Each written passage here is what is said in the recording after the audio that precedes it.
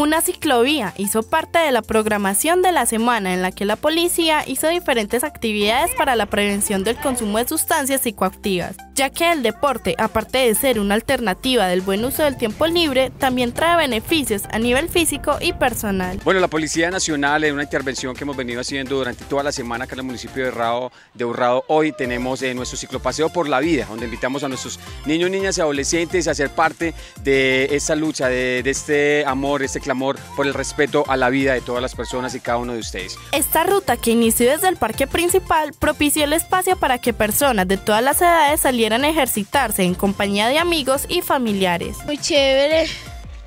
Lo que más me gustó fue que todos convivimos. Vamos muy bueno. Una gran estrategia teniendo en cuenta que el deporte también puede considerarse como una actividad física con una estructura o conjunto de normas acordadas que permite adquirir disciplina, superación y mejorar las habilidades físicas.